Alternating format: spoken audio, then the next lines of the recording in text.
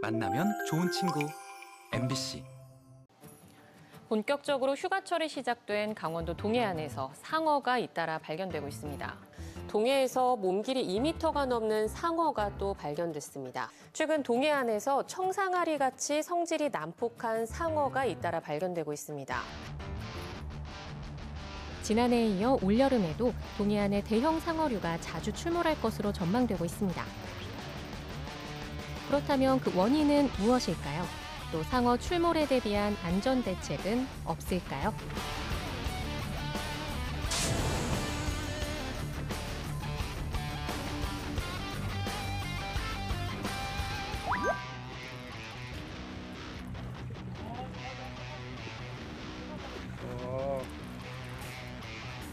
올봄 포항 호미곶 앞바다 삼치잡이 낚싯배에서 상어를 잡았습니다. 몸 길이 3m에 무게 200kg이 넘는 청상아리 상어인데요. 너무 공격성이 많아가지고 죽은 척하다가 다시 물려 그러더라고요. 지난해 8월 강릉항 인근에도 상어가 나타났습니다.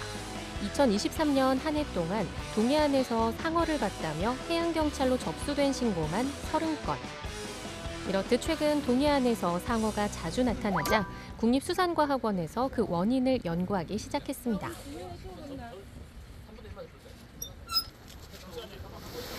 상어가 잡히기 직전 어떤 먹이를 먹었는지 직접 확인해 볼 차인데요.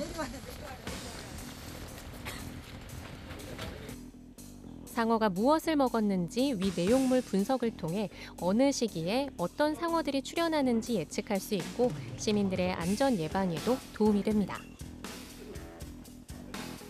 30cm 길이의 청어 한 마리를 물고 있는 몸 길이 2m의 악상어인데요.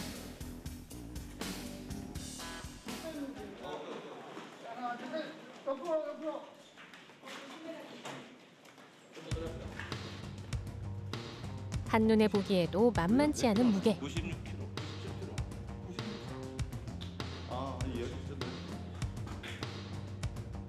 상어의 소화기관에서 꺼낸 내용물은 유전자 검사를 통해 어떤 어류인지 추가로 조사하게 됩니다. 보시면 이 상어가 이제 악상어로서 섹스 보니까 아니 그이 악상어가 3m까지 서시 3m까지 자라지 않습니까? 근데 행색을 보니까 좀 미숙입니다. 그래서 이 개체가 좀 어린 개체로 추정됩니다. 보면은 이제 오늘 상을 해보했는데 입 안에 이제 이 청어라는 물고기가 이제 잡혔습니다. 이 악상어가 이 청어를 먹기 위해서 쫓아가다가 이제 그 정체망에 잡힌 걸로 추정됩니다. 최근 동해안 수온이 높아지면서 아열대성 어종인 참다랑어 어획량도 부쩍 늘었습니다. 참다랑어를 노린 상어의 출몰도 늘어나 지난해는 14건, 올해도 벌써 13건 확인됐는데요. 그런데 지난주 냉수대가 동해안에 들어오면서 아열대성 어종과 냉수성 어종이 같이 잡히는 기현상이 벌어지고 있습니다. 참다랑어를 잡아먹으러 상어도 따라 올라와 동해안에서만 지난해는 14건 확인됐고 올해도 벌써 13건이나 목격됐습니다.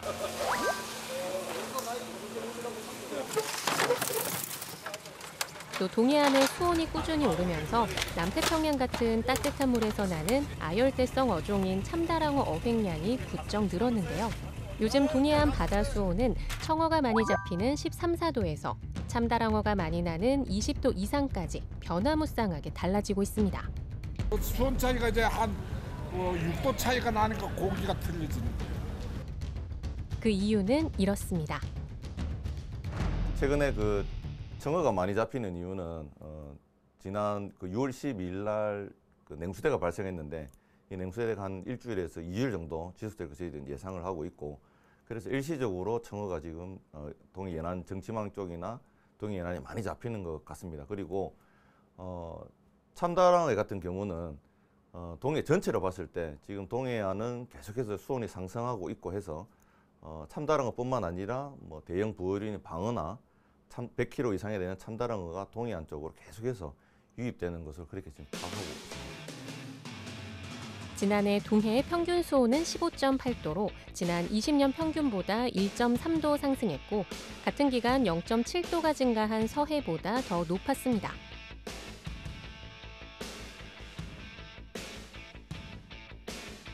아, 지난해 하반기에 상어가 8마리 잡혔는데 어, 7, 8월에 8마리가 집중이 됐습니다. 그래서 올해도 지난해 바다와 환경이 비슷하다면 올해 7, 8월에도 상어가 좀 더 나타날 것으로 그렇게 지금 예측하고 있습니다. 아래쪽에 상어는 온대 지역에 살지, 살지만 기본적으로 좀 따뜻한 바다에 많이 살기 때문에 네, 바닷물이 이렇게 따뜻해지면서 어, 조금 증가하는 추세가 있는 것은 분명해요. 기존에는 한 2m 전후의 것들이 많이 출현했는데 작년, 재작년 한 2, 3년 정도에는 한 3m 이상짜리가 아, 이렇게 자주 이렇게 잡혀서 그러니까 대형 개체들이 이렇게 출현했다는 점이고요. 수온이 상승하게 되면은 생물들의 어떤 분포가 변하기 때문에 백상아리나 청상아리, 악상어 이런 것들이 먹이 변화에 따라서 이런 상어의 출현량도 충분히 변할 수 있는 거거든요. 올 3월 강릉시 주문 진안에도 상어가 출몰했습니다. 오 상어 상어 상어 부러뜨렸어요 오 상어 상어 동해안에서 지난해보다 두 배 이상 발견되고 있는 상어.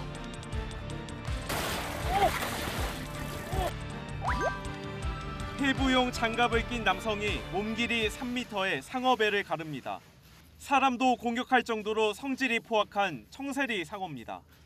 강원도 강릉 앞바다에서 잡혔는데 소화기관에서 물고기 3마리가 발견됩니다.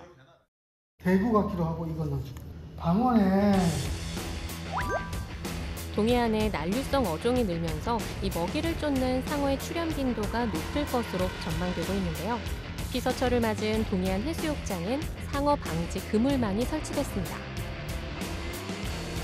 국내에서는 지난 1959년 이후 상어의 공격으로 6명이 숨지고 1명이 다쳤는데 모두 충남과 전북 등 서해에서만 발생한 것이었습니다. 어, 상어라든지 어, 해파리 등 유해 생물로부터 보호하기 위해 가지고 어, 금년도에는 도내 8개소에 상어 방지망을 지금 설치를 해서 운영할 예, 예, 예정이고요. 어, 그밖에 해수욕장은 상어 퇴치기 등을 동원해서 어, 안심하고 해수욕을 할 수 있도록 이렇게 저희가 준비를 하고 있습니다. 바다에서 상어를 만났을 때에는 바위나 바닥에 달라붙어 움직이지 말고 소리를 지르거나 첨벙거리는 등 상어를 자극하는 행동은 삼가주시기 바랍니다.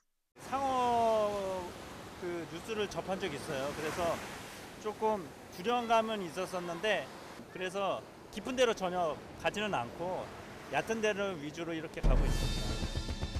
하지만 누구도 예측하기 힘든 바다.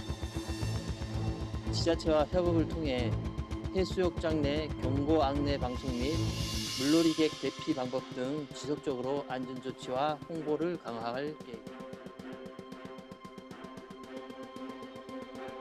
이제 동해바다에도 더 이상의 안전지대는 없습니다.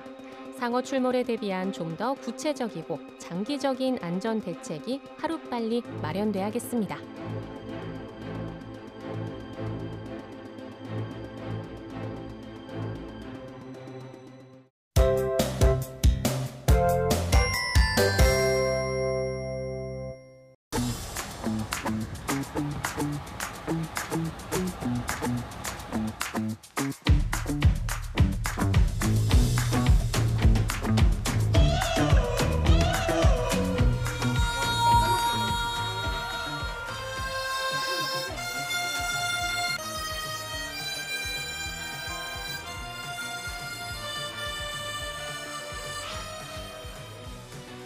저는 사실은 고향은 남해거든요.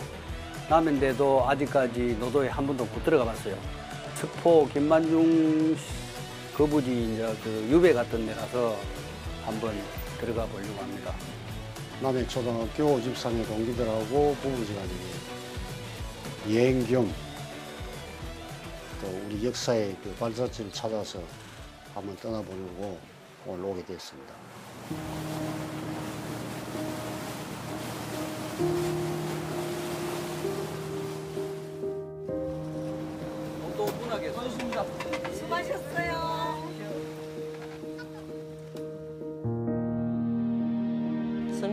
멀리서 보면은 사카성 같이 보이고 노도라는 그 타이틀이 붙은 거는 여기 참나무가 참 많았답니다. 그걸 이제 배워가지고 저 여수에 가서 노젓는 그 노를 생산을 해서 팔았답니다. 그래서 노도라고 바뀌었고 관광객 분들께서 너무 깨끗하고 조용해서 좋다 합니다.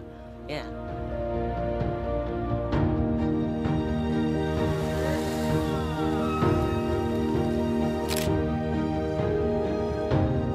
스포 김만중 선생의 유비로 알려지는 노도는 현재 가구 수는 14가구, 인구는 약 20명 정도 살고 계십니다. 현재 저 도선이 하루 6번 운행을 하고 있습니다. 1년 365일 수시로 많이 찾고 있습니다.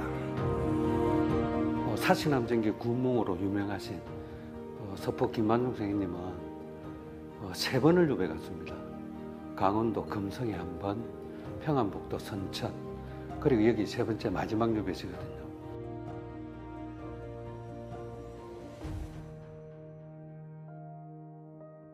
그 당시에는 이- 이런 정도로 울창하지 않았을까요?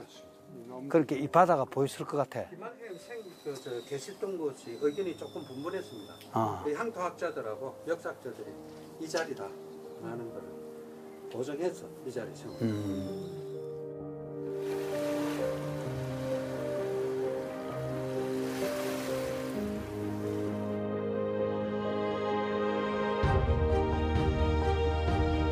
탈선녀가 이쁘네 이쁘네. 이 진채봉이라는 선녀가 에, 역사책에 나오는 그 인물이에요. 아, 진짜로 양소의 첫사랑입니다. 첫사랑. 제일 먼저 만난 1번 여자. 이 세 번째 여자라고 요? 가장 공을 들인 여자.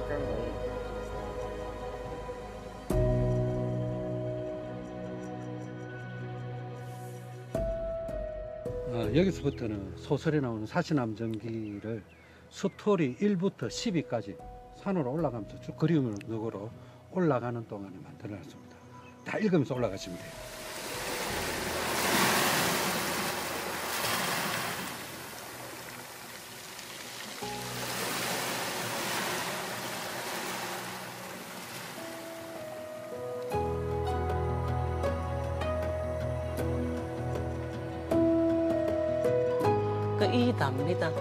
단조롭죠 아무래도 매점이다 보니까. 손님들은 주중에는 별로 없고 아무래도 주말에는 조금 많죠.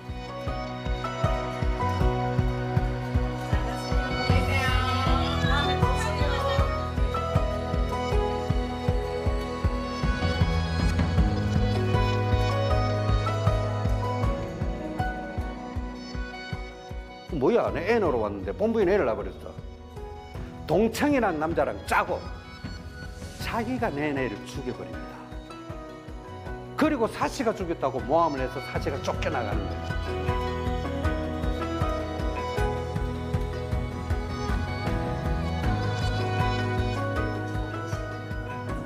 어, 어머니께서 이렇게 다 아들들을 위해서 책을 베껴가지고 그죠. 아. 오, 영어로 번역된 거래. 영어로 번역이 된.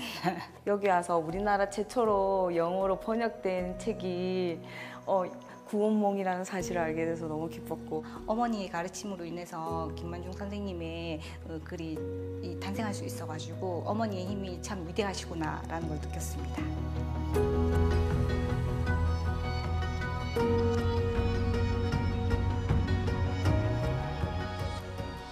여기는 작가 창작실이고요. 전국의 문인들, 최근에는 웹툰 작가, 화가, 사진 작가까지 장르를 넓히고 있는 중입니다. 작품 활동을 의도적으로 할 필요 없이 그냥 작품 활동이 자동으로 되는 자리. 저기 한번 보세요.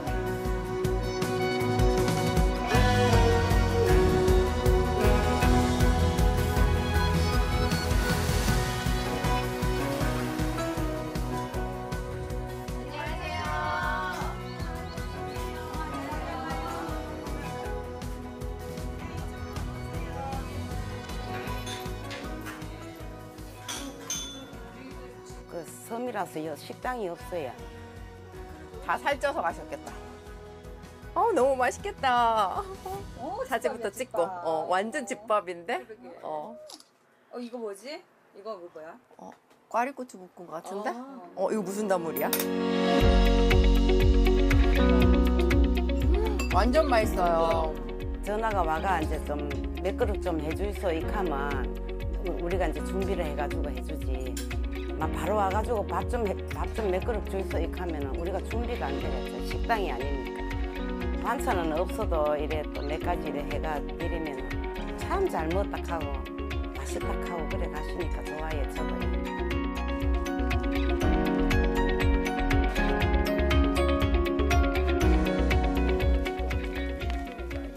이거 고라니 또 여기에 고라니가 너무 예쁘다. 여기서 보는 저 바다, 우린 너무 예쁘고 좋은데 선생님은 저 파도 소리에 가족들이 얼마나 그리웠을까. 노도 와보기 잘해. 어, 노도. 정말로 대단하신 분이다. 우리 역사에 길이 남으신 분이다. 스포 김만중 선생의 그 문학, 그 역사 이런 게 많이 묻어나는 그런 감명 깊은 시간이었습니다. 작품을 하기에 최적의 장소인 것 같고 다음에 오면 꼭 트레킹을 하고 싶은 장소입니다. 친구들과 다시 한번 꼭 올 거예요.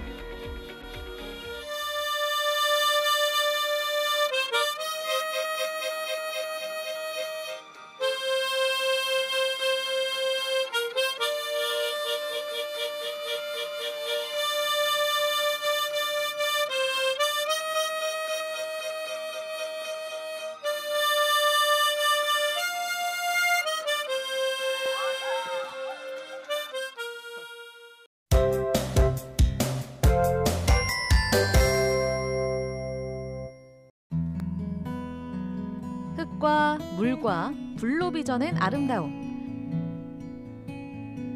양구 백토를 이용해 만든 백잔네요. 조금 더 특별한 건 전통 방식 그대로 장작 가마에서 구워낸 작품이라는 겁니다. 장작 가마는 실제로 불이 닿기도 하고 이러니까 더 변화가 크게 나와요. 불맛이 불맛이 난다고. 장작가마에서 나온 작품들은 이 전시에서 보시면 아실 수 있겠지만 굉장히 따뜻한 색상을 가지고 있습니다.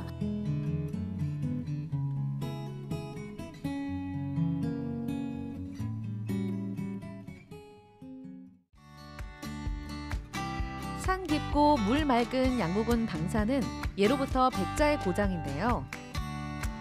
양구 백자의 산실로 자리 잡은 백토마을. 양구 백자의 아름다움을 꾸준히 이어가는 작가들이 있습니다. 어, 양구 백자를 좀 백토를 사용해서 작품을 하고 싶은 마음이 있어서 자연과 너무 딱 닿아 있다 보니까 제 작업에도 많이 도움이 되고 있었던 것 같아요. 이런 노력들이 양구 백자의 과거와 현재를 이어주고 있는데요. 전통 방식으로 축조한 장작가마에서 작품을 구워내는 특별한 시간을 마련했습니다. 우리나라 전통 가마인데 어, 명칭을 망생이 가마, 망댕이 가마라고도 부르는 그런 가마인데요. 어, 이렇게 한 30cm 정도의 원추형의 흙 덩이를 이렇게 쌓아서 만든 가마예요. 그래서 가마 내부에서 천정을 올려다 보면 이렇게 동그랗게 이렇게 이렇게 이렇게 되어 있는데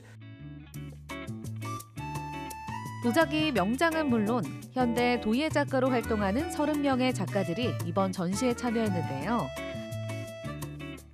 지난 4월부터 도자기를 빚고 함께 연구하며 장작가마로 작품을 완성하기 위해 많은 노력을 기울였습니다. 쉽고 빠른 현대의 기술 대신 옛 선조들의 방식 그대로 경험해보는 시간이었습니다. 이제 이 가마뿐만이 아니라 모든 도자기들은 일차적으로 성형을 하고 그다음에 그것을 이제 어, 최대한 흙 속에 있는 성형된 흙 속에 있는 수분들을 다 증발시키는 건조 작업이 필요하고요. 건조가 다 되면 초벌구이라고 해서 어, 뭐 낮으면 한 800도, 높으면 한 1000도 정도의 유약을 바르지 않고 초벌 구이를 합니다. 그러니까 초벌 구이를 뭐한 10시간 정도 하게 되고요. 그것을 이제 다 식혀서 그다음에 유약이라는 걸 발라요. 도자기를 더욱 매끄럽고 단단하게 만들어주는 유약을 바른 다음 장작가마 안으로 들어갑니다. 세 봉우리로 연결된 장작가마에는 30명의 작가들이 만든 작품으로 가득 채워지는데요.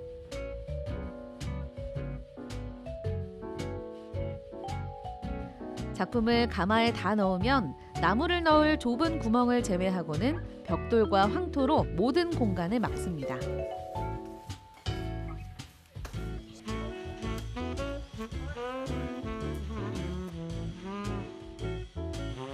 가마에 불이 지펴지고 오랜 시간 나무를 떼며 작품이 구워지게 기다리는데요.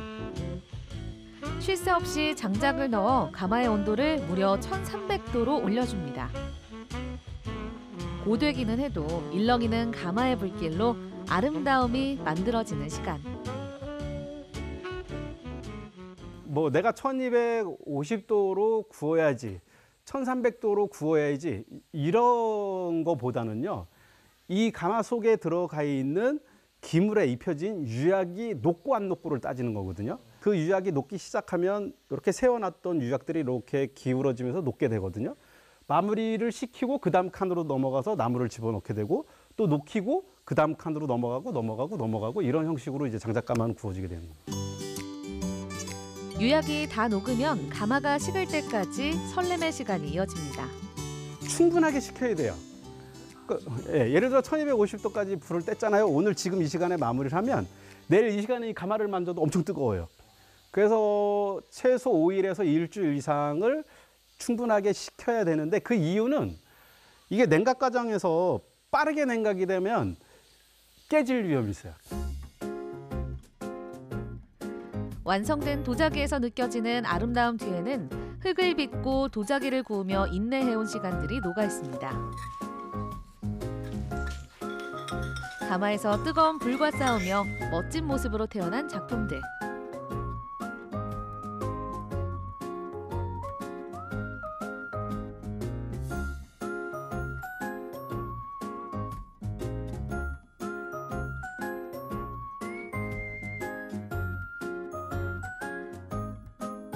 이렇게 만들어진 작품들은 양구 백자 박물관에서 만날 수 있는데요. 장작가마에서 구워낸 특징들을 살린 양구 백자의 매력을 느낄 수 있습니다.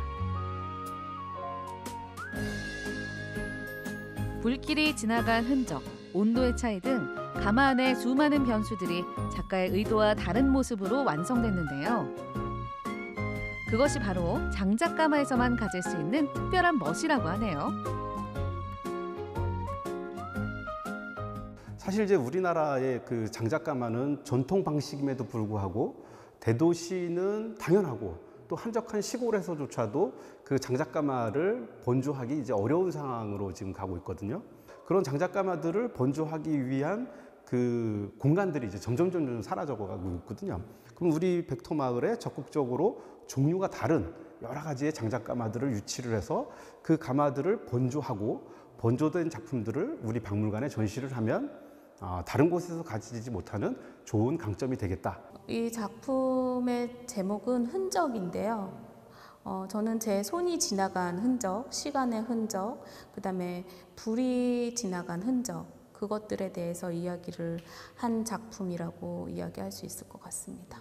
이렇게 불이 지나간 자리에서 아주 미묘하게 보여지는 색감의 차이, 그 다음에 불의 흔적들을 볼 수 있는 이런 작업을 어, 더 가치 있게 생각을 하고 있습니다. 그 작업은 어, 장작가마에서만 나올 수 있는 느낌이니까요. 자연 자체로 너무나 아름답고 흙 자체가 너무 아름다워서 그 인위적으로 어떤 형태를 만든다기보다 자연 그대로 발현할 수 있는 환경만 제공을 하고 작가로서 가장 많이 접하는 게 흙이거든요.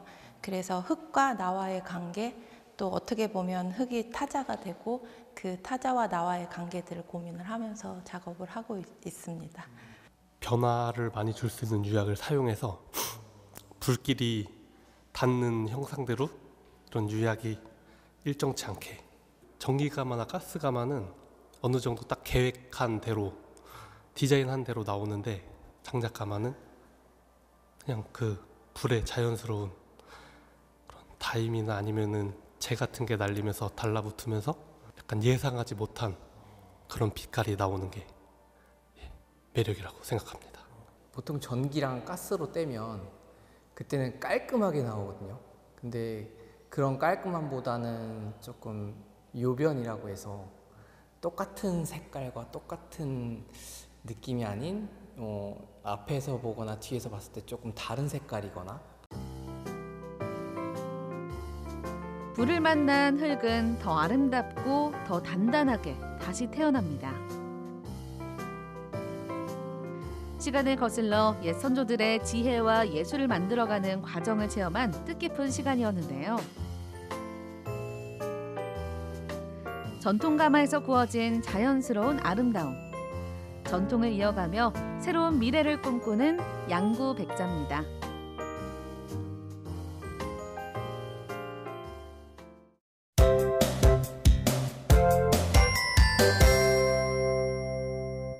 하나, 둘, 셋.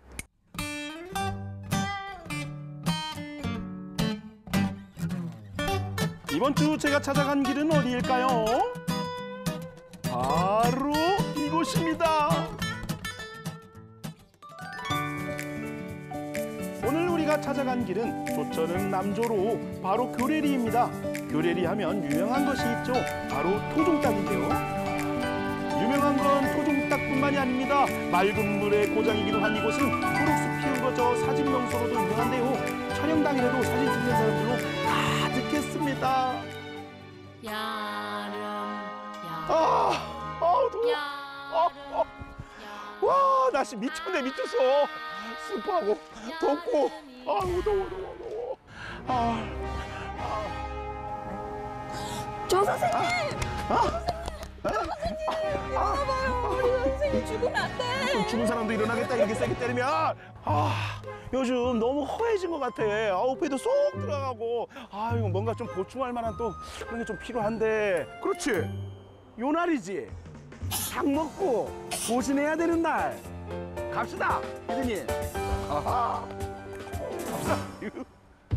이번 주 왜 교례를 찾아갔는지 이유를 아시겠죠? 조천읍 교례를 하면 닭이죠. 뚜둥 닭. 토종닭. 닭 보양식 하면 백숙만 생각했다고요? 아니죠. 교래리에서 토종닭 보양식은 샤브샤브에서부터 시작됩니다. 샤브샤브. 여름엔 이렇게 팔팔 끓는 이런 국물을 먹어줘야 힘이 또 불끈 나는 거죠. 아이고야. 음. 아유, 아, 좋습니다.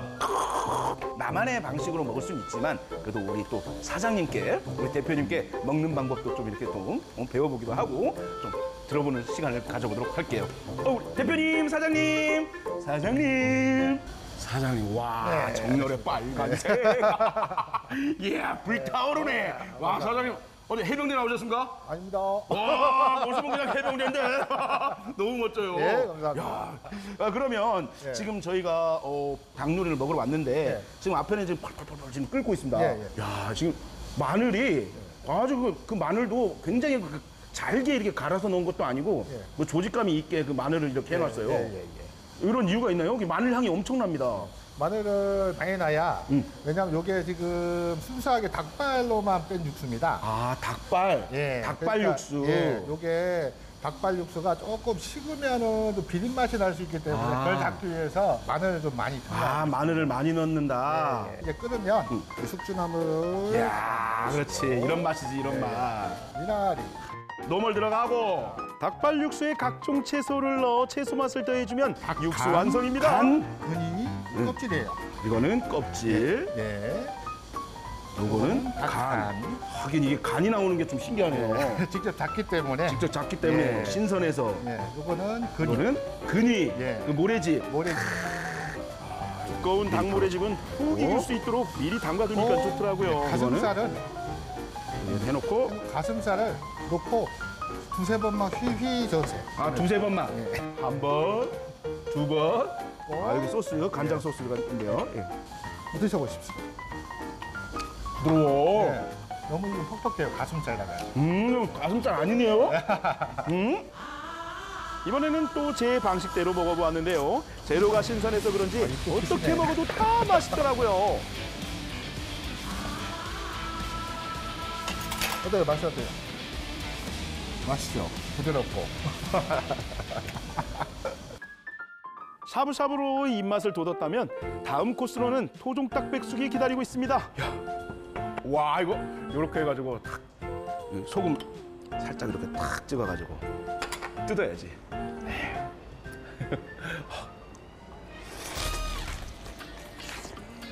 음. 음?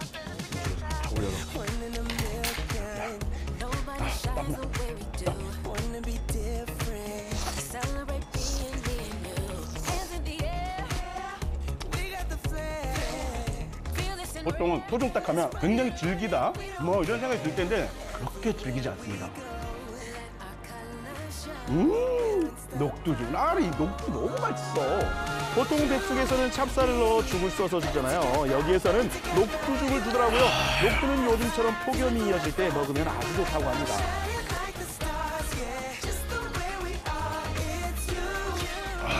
아유, 음, 음, 음, 음, 음. 아 고소해.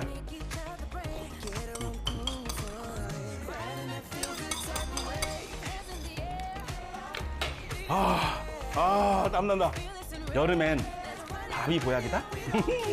여러분 닭이 보약이다. 여러분 닭 먹고 힘내세요. 아, 아유 오늘도 김이 갖는다 늘어. 어우 뜨거워. 피디님, 아유 좀, 어 우리 편의점 가서 좀 물이라도 한 시원하게 마시고 갑시다. 아 이온 음료라도 좀 사줘 좀. 아우 더워. 어?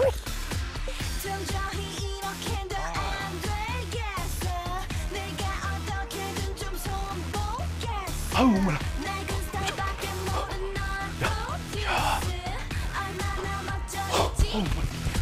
우와 음료수. 어 근데 이 마트에서 왜 이렇게 짜장면 냄새가 나지? 구수한 튀김 냄새가 나나? 어? 달달한데?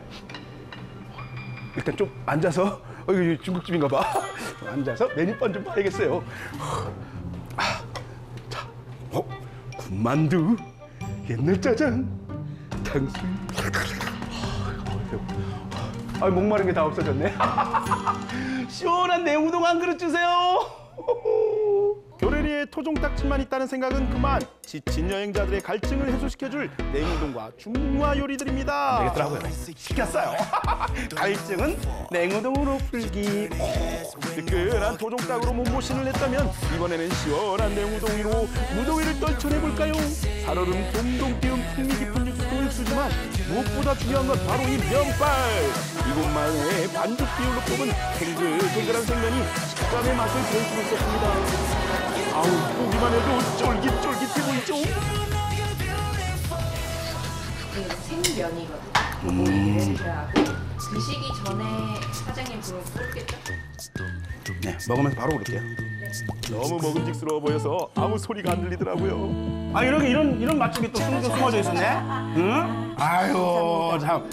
일단 사장님에게 제일 궁금했던 것부터 여쭤볼까요? 물도 유명하고, 닭도 유명하고, 이 특과거리야. 네. 토종닭 특과거리. 그렇지. 그럼 토종닭을 해야지 왜 여기 이거 이걸 해주고? 난 토종닭도 해보고 아. 일반 음식도 해봤는데 일반 사람들이 와서 간단히 먹을 수 있는 게 뭔가 해서 생각한 게 중국집. 아, 아, 중국집 하면 괜찮겠다 해가지고 하게 됐어. 맞네. 이렇게 응. 이게 코스 요리로 닭 그래. 이거 쫙 푸짐하게도 먹는 것도 좋은데 좋은데, 그렇지. 간단하게 간단하게, 이렇게 왔다 갔다 하면서 이게 응. 오름도 한번 갔다가 휴양림도 갔다가 그렇지. 와가지고 간단하게 이게 먹은 거라. 그렇지. 우리 집에 왔다 짜장면 먹고 토종닭도 먹고 토종닭 먹으러 왔다 우리 집도 먹고 그렇게 해야지. 아, 어렵게 이 집은. 이 집은 무조건 들려야 돼. 다 골고루 그러니까 서로 상생하면 사는 아이고, 거지. 맞습니다. 우리 집만 잘 때도 안 되지. 맞아게. 수중닭도 잘 되고 중국집도 잘 되고. 맞아요. 짜장면집에 빠질 수 없는 탕수육인데요. 이게 바로 제주 흑돼지 등심으로 만든 탕수육입니다. 아니 고기. 와 고기 너무 좋다. 음 잡내도 하나도 안 나고 구수해.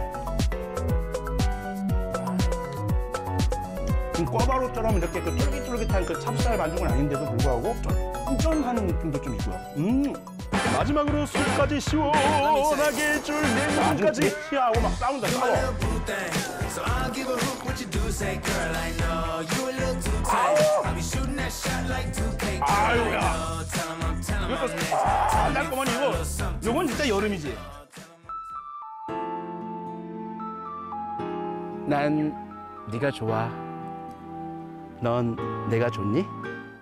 깨물어주고 싶어.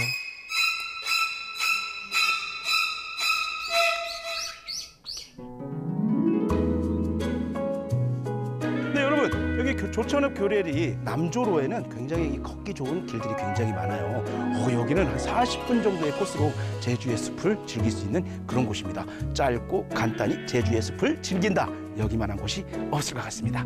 가보실까요?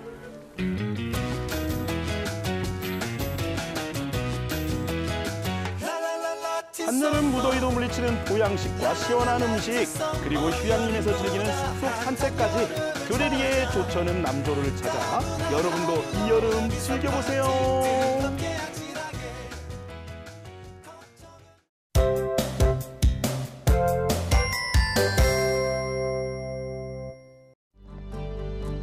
오랜 역사를 품고 있는 고장.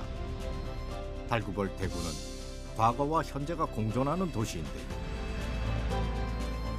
특히 한일 독립운동의 성지로 알려져 있죠. 조국의 독립을 위해 분연히 일어섰던 청년과 학생들의 발자취. 시대에 저항하고 시대를 위로했던 시와 노래. 목숨을 내놓고라도 얻고자 했던 광복의 열망까지. 대구 독립운동 유적을 통해 질곡의 역사를 만나봅니다.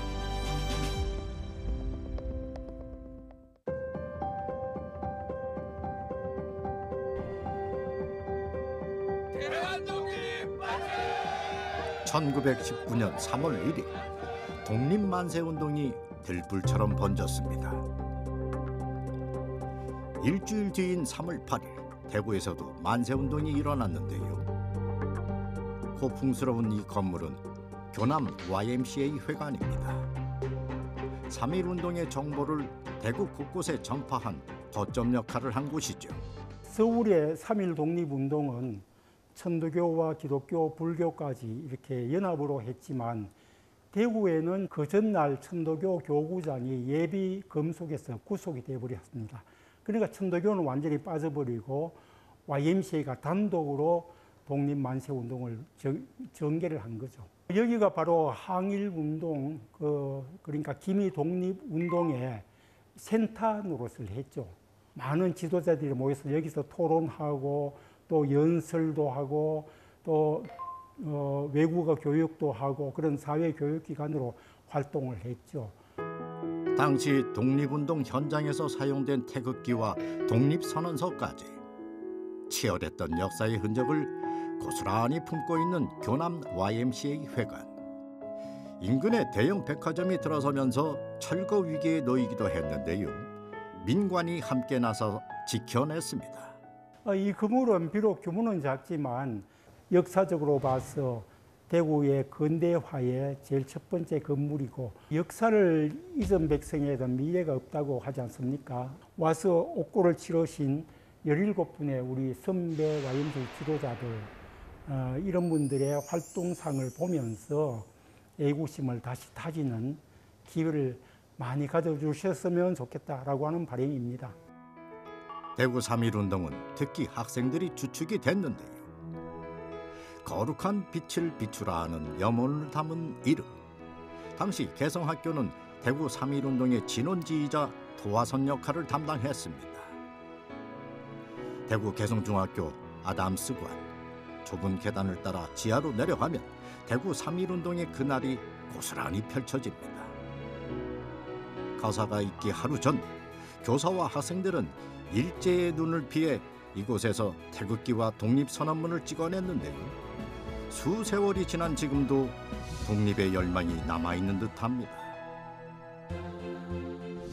학생들은 태극기와 독립선언문을 가슴에 품고 청라 언덕에 하나둘씩 모였습니다. 대구는 광복의 그날까지 청년 민중학생의 저항이 끊임없이 이어졌죠. 학생들은 비밀 통로였던 이곳 3일 만세 운동길을 지나서 당시 큰 장이라고 불렸던 서문시장에 모였는데요.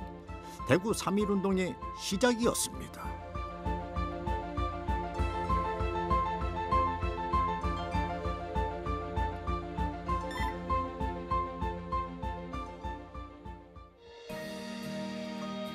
대구 중구는 골목으로 이루어졌다 해도 과언이 아닙니다. 실핏줄처럼 촘촘히 연결된 근대 골목을 따라 켜켜이 쌓여온 역사의 흔적들이 오늘날 소중한 문화유산으로 남아있죠. 푸른 담쟁이 덩굴이 많아서 청나라는 이름이 붙여진 이 언덕엔 시대를 위로했던 노래 박태준 선생의 동무 생각이 아로새겨져 있습니다. 사람이 짓고 세월이 어루만진 이곳 우리나라 대표 민족 저항 시인 이상화 고택입니다. 1939년부터 작고한 1943년까지 말년을 보낸 곳이죠. 그가 울적할 때마다 마음을 달랬던 감나무 마당과 사랑채 등이 잘 보존되어 있는데요. 이상화 시인의 대표시 빼앗긴들에도 봄은 오는가는 당시의 비통하고 한맺힌 심정이 잘 나타나 있습니다.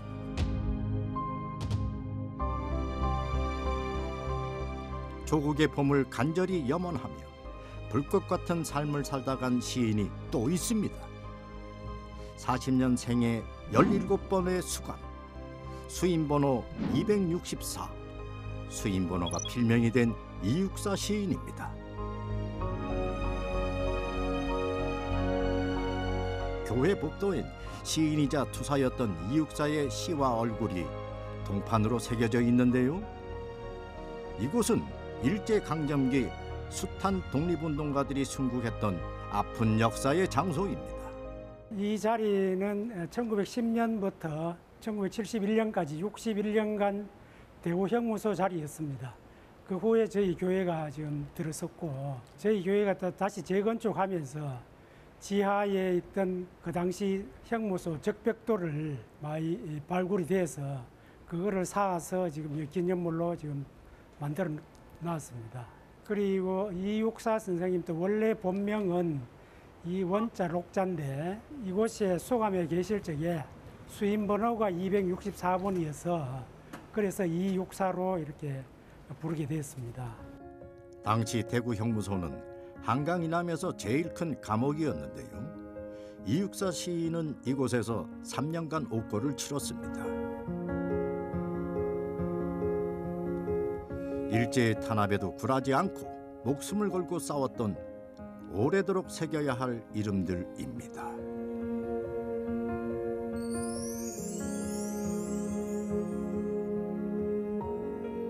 대구 동구에 자리한 멋스러운 서양식 건물. 아침 해가 비추는 곳이라는 뜻을 지닌 조양회관입니다. 도산 안창호의 정직, 백범 김구의 정의, 매헌 윤봉길의 용기라는 가슴 벅찬 글귀가 눈에 띕니다. 조양회관은 1922년도 4월부터 착공을 해가지고 그해 10월 달에 준공이 되었습니다. 일제 강점기에 독립운동을 하신 서상일 선생께서 대구에 오셔가지고 계몽운동과 청년들의 교육이 필요하다고 말씀을 하셔가지고 대구 구락구를 결성을 했습니다.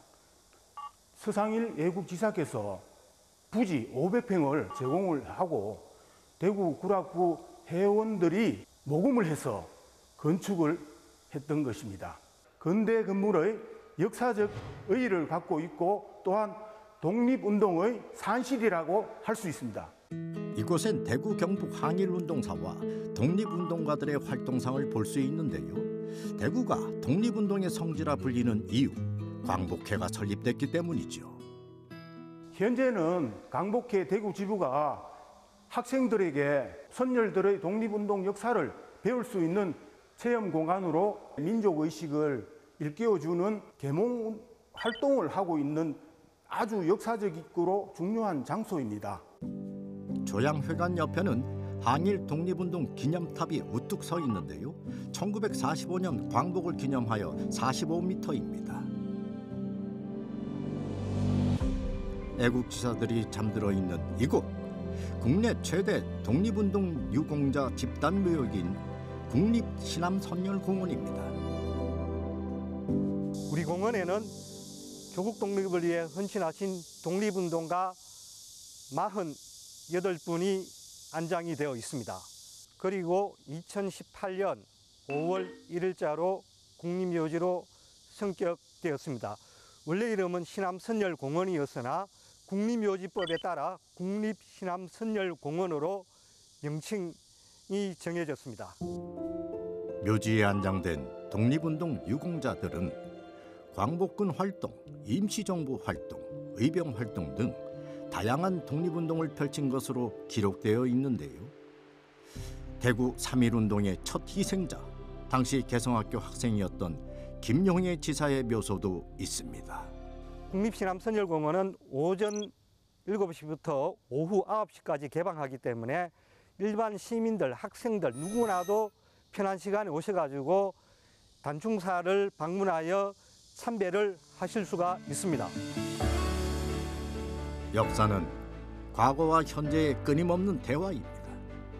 독립운동가들의 정신은 지금도 뜨겁게 숨쉬고 있습니다. 광복에는 그들이 있었음을 우리는 기억해야 합니다.